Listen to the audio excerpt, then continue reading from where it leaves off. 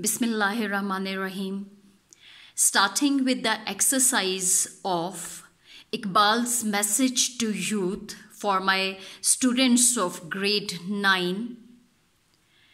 Question number one is How is the youth standard bearer of a nation? And your answer must be according to Iqbal, the youth is a standard bearer of a nation as he relied on the physical and spiritual powers of the youth. They are energetic both physically and spiritually.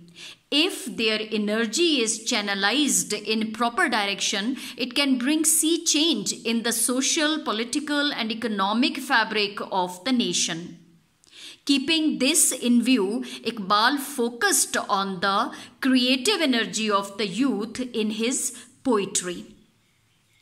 Question number two is According to Iqbal, how can the youth change themselves?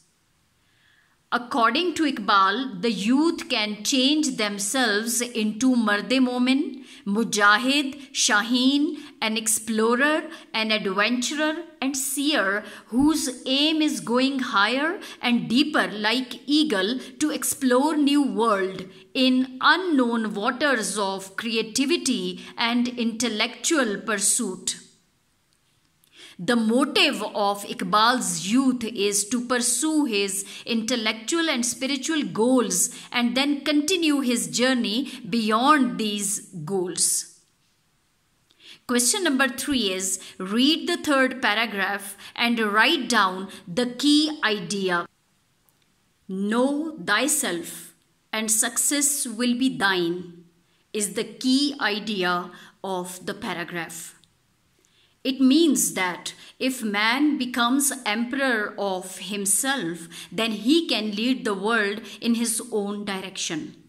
Only such a man can find out with his sagacity the pearl of future for the coming generation. Your question number four is What is main idea of a lesson? The main idea of the lesson is that youth is a symbol of hope and future of the nation. If young generation is ready to contribute to the progress and prosperity of the Ummah, the day is not far off when the whole Muslim community will rise as mighty power which no nation of the world will be able to subdue. Question number five is According to Iqbal, the youth should not confine to material achievement. Express your views. And your answer is according to Iqbal, the youth shouldn't confine themselves to material achievement and enjoyment of material luxuries and comforts, which are temporary and short lived. Your answer is the remaining answer the life of Iqbal's youth must not be static, but it should be dynamic. It must be the name of continuous struggle and to go beyond the stars and enjoy the creative journey of exploration, discovery, inventions, and innovations.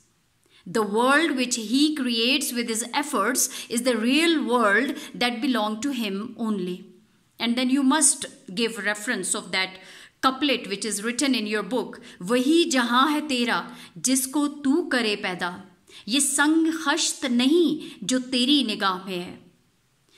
Dear student this is all about the exercise of Iqbal message to youth if I need to explain anything else please write in your comments do write your comments so that I must know that you are watching these lectures and taking advantage of them Kindly don't forget to like and subscribe my channel as well. It will be a great encouragement for me. Thank you so much.